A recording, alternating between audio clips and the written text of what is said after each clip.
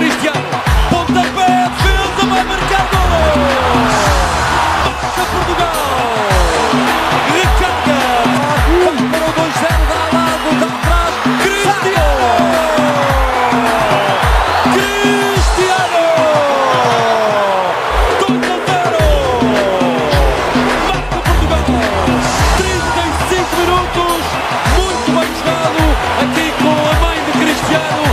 Emocionada naturalmente.